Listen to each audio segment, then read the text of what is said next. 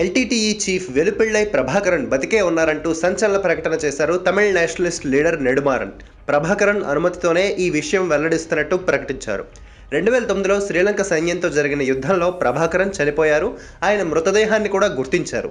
కానీ ఉన్నట్టుండి ఆయన బతికే ఉన్నారంటూ వార్తలు రావడం సంచలనమవుతోంది. అంతేకాదు ఆయన ఇప్పటికీ తన కుటుంబ సభ్యులతో మాట్లాడుతున్నారని చెప్పారు నెడుమారన్. త్వరలోనే ఆయన ప్రజల ముందుకు వస్తారని వెల్లడించారు.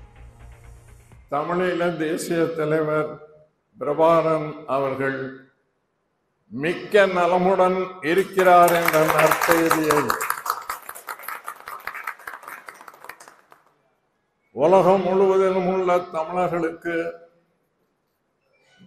உறுதியாக தெரிவிப்பதில் நான் மட்டற்ற மகிழ்ச்சி அடைகிறேன்.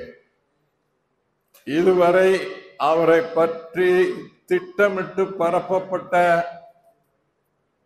ஊகங்களுக்கும் ஐயங்களுக்கும் இந்த செய்தி உறுதியான முற்றுப்புள்ளியை வைக்கும் என்று நம்புகிறேன்.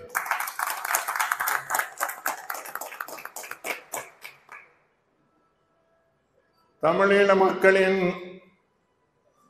விடுதலைக்கான திட்டத்தை அவர் விரைவில் அறிவிக்க இருப்பதை